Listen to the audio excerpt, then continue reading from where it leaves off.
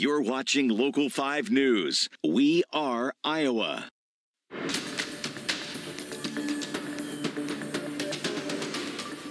Like once I heard it was actually like that. Once I saw that picture, I started shaking because I was like, that could have been me. I could have been one of those victims in that time. Just chilling testimonies tonight coming out of Perry as a sixth grade student was shot and killed, five others hurt. We're learning their stories. We are sharing them with you tonight. Thank you for joining us. We start tonight with a story no city, community, or parent wants to witness. Two are dead, five are injured after a school shooting in Perry. It's about 45 minutes northwest of Des Moines. Uh, let's recap on how this all started. At around 7:30 this morning, multiple law enforcement agencies responded to an active shooting. In the first news conference, the Dallas County Sheriff confirmed people were hurt, but there was no danger to the public at that point.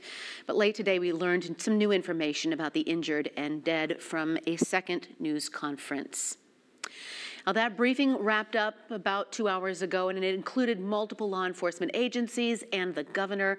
So, here are three things you need to know right now. Like we just mentioned, the suspected 17 year old shooter is dead, along with a sixth grader. The suspect was identified as 17 year old Dylan Butler. We're still trying to figure out the identity of the sixth grade student. Five others were injured.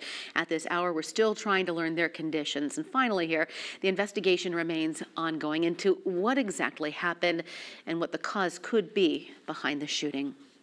Our reporters have been on scene in Perry all day tracking down information, trying to answer the questions you have and confirming claims we're all hearing. So let's start with Megan McPherson with the facts of this case, this developing case. Megan. He shot six people, killing a sixth grade student.